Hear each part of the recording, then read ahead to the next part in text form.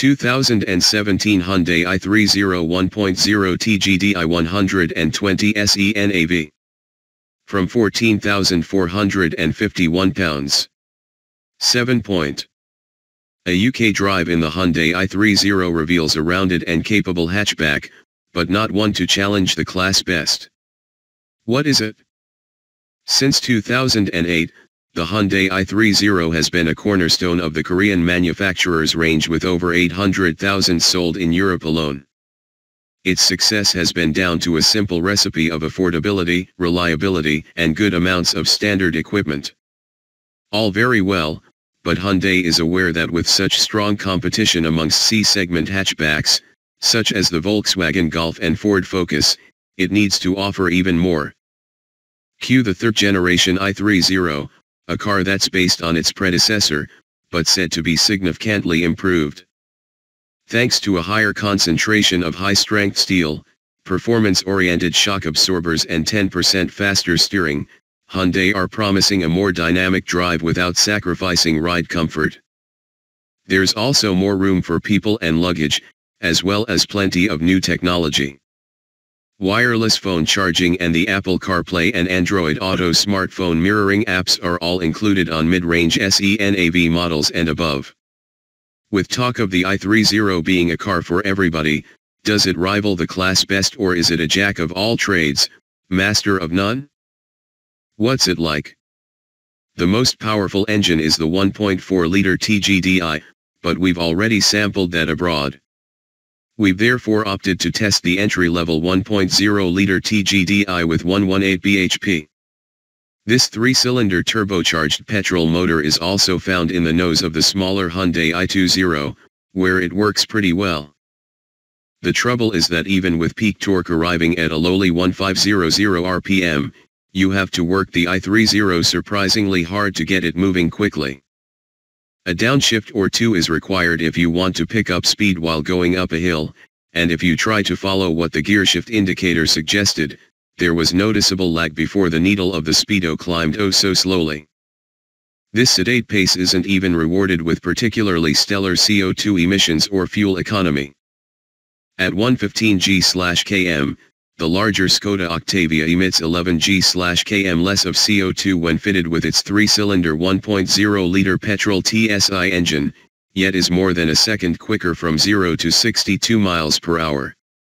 Even if you don't care about the acceleration times, which you probably shouldn't, it still means the Skoda will be a lot less tiring to drive with 5 passengers and with a boot full of luggage.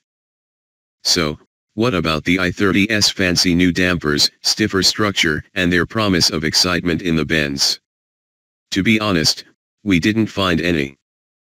The ride is perfectly agreeable if maybe a little firmer than before, but not stiff enough to prevent noticeable body roll in corners.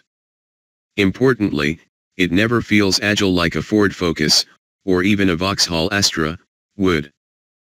The speed of the i30's steering is nicely judged, although it is a little heavier than some may expect.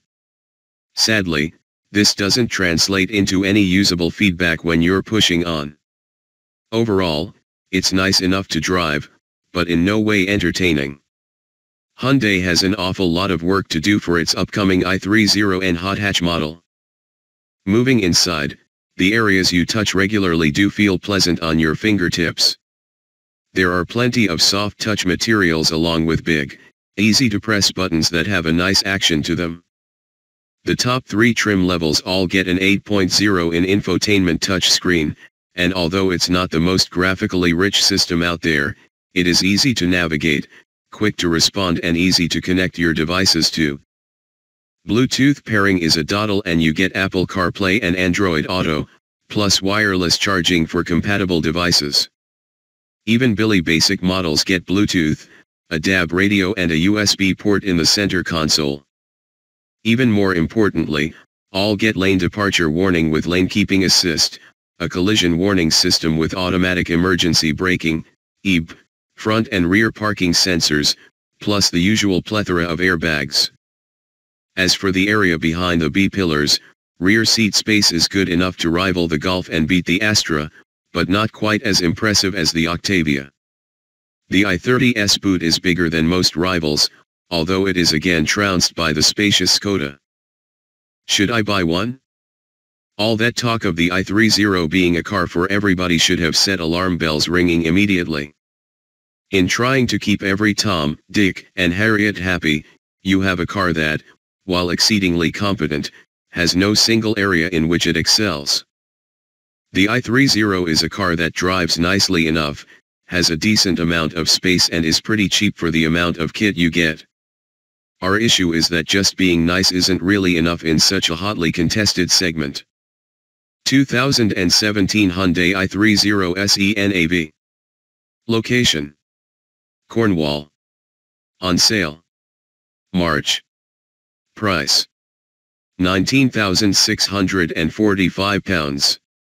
Engine 3 CYL 998 cubic centimeters turbocharged petrol Power 118 bhp at 6000 rpm Torque 126 pounds-foot at 1500-4000 rpm.